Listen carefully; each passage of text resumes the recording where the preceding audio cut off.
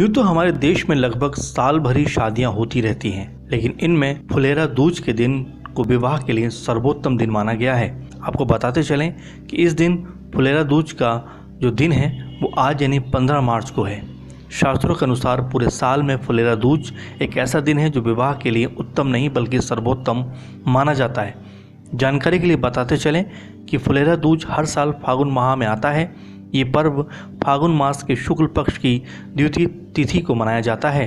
इसे सर्दी के मौसम के बाद विवाह का अंतिम अबूझ मुहूर्त और शुभ दिन कहते हैं। इस दिन शादियों की धूम रहती है। मान्यता है कि इस दिन विवाह करने से दंपत्ति को भगवान श्री कृष्ण और राधा रानी का आशीर्वाद प्राप्त होता है। यह इस बात से भी अवगत कराते चलें कि धार्मिक मान्यताओं के अनुसार फुलेरा का दूज का दिन भगवान श्री कृष्ण और राधा रानी को समर्पित है। ये तिथि होली पर्व के शुभारंभ दिवस के तौर पर भी जानी जाती है। इस दिन भगवान कृष्ण और राधा जी की पूजा और व्रत का विधान है। पौराणिक कथा के अनुसार व्यस्तता के कारण भगवान श्री कृष्ण कई दिनों से राधा जी से मिलने वृंदावन नहीं आए।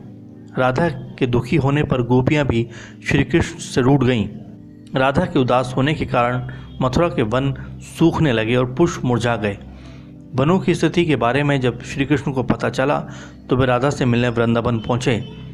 श्री कृष्ण के आने से राधा रानी खुश खुश हो गई। रिपीट। श्री कृष्ण के आने से राधा रानी खुश हो गई और चारों ओर फिर से हरियाली छा गई। कृष्ण ने खिल रहे पुष्प को तोड़ लिया और राधा को छेड़ने के लिए उन पर फेंक दिया। राधा ने भी ऐसा ही कृष्ण के साथ किया। ये देखकर वहाँ पर मौजूद गोपियों और ग्वालों ने भी एक दूसरे पर फूल बरसाना शुरू कर दिया।